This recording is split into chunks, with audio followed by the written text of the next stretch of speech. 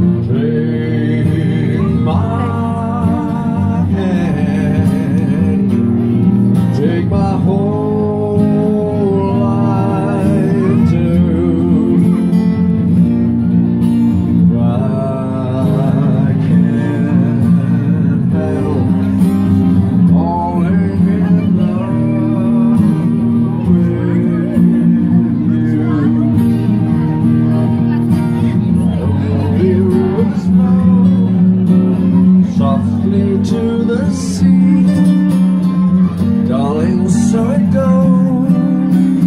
Some things are meant to be.